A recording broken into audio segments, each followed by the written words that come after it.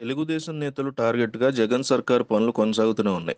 ఒక్కరు కాదు, ఇద్దరు కాదు ఎవరు మాట వినకపోయినా, తమ పార్టీలో చేరకపోయినా వారిని టార్గెట్ చేస్తున్నారంటూ టీడీపీ నేతలు చేస్తున్నటువంటి ఆరోపణలు ఇప్పుడు కనిపిస్తున్నాయి గట్టిగానే.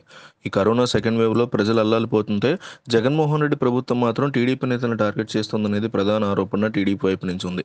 మొన్న చంద్రబాబు, రీసెంట్‌గా నరేంద్ర, పల్లా శ్రీనివాస్, ఇప్పుడు మురళీమోహన్. అయితే వీరందరూ ప్రభుత్వం చర్యల మీద న్యాయస్థానంలో పోరాడుతున్నారు. వీరి మీద అభియోగాలు మోపుతున్నారు. కానీ ఆధారాలు ఇవ్వలేకపోవడంతో కోర్టులో ఎదురుదెబ్బ కూడా గట్టిగానే తగులుతోంది.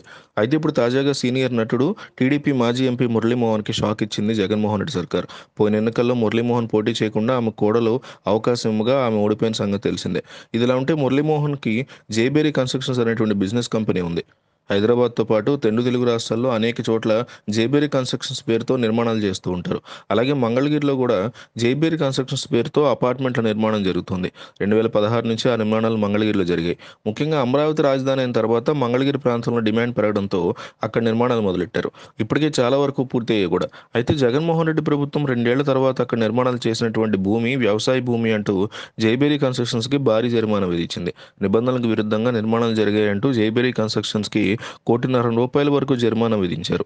ఏడు ఎకరాల్లో నిర్మాణమైనటువంటి నిర్మాణాలు చేసిన ఈ భూమి వ్యవసాయ భూమని, దాన్ని కమర్షియల్ ల్యాండ్‌గా మార్చకుండా నిర్మాణాలు చేశారంటూ మూడు శాతం వరకు ల్యాండ్ కన్వర్షన్‌తో పాటుగా జరిమానా కూడా విధించారు. అయితే ఈ జరిమానా మీద జేబేరీ కన్స్ట్రక్షన్స్ నుంచి ఎటువంటి వివరణ ఇంకా రాలేదు. ఈ జరిమానా మీద త్వరలోనే కోర్టుకు వెళ్ళబోతున్నారని దీని వెనుక ఉన్నటువంటి వాస్తవాల్ని వారు బయటపెట్టే ప్రయత్నం చేయబోతున్నారని తెలుస్తోంది.